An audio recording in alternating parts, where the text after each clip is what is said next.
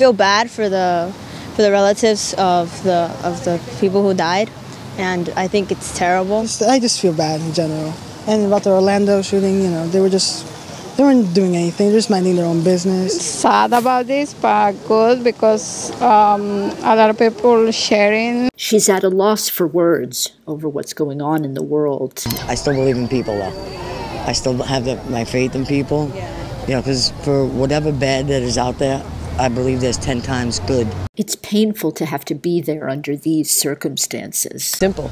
You know, peace has to begin with each one of us. We have to go back there.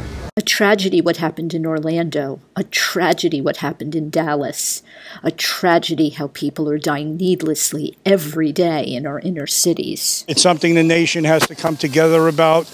Uh, violence doesn't solve violence. Uh, there has to be a way where we can all figure it out together. How can we have a safe community? By promoting peace and compassion. Any individuals who act or carry any act of hate, they don't carry it in the name of the religion.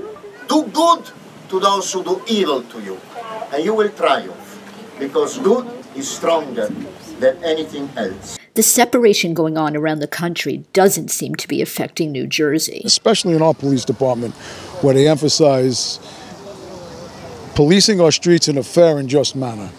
The police in West New York do not care race, color, religion, sexual orientation. One incident doesn't make a whole community or a whole community of police officers or firemen or whatever the case may be a bad group.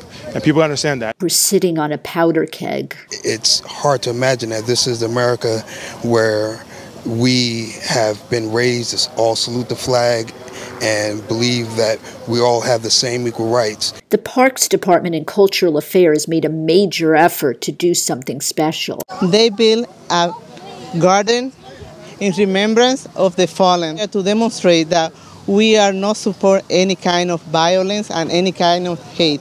We are not going back to those times.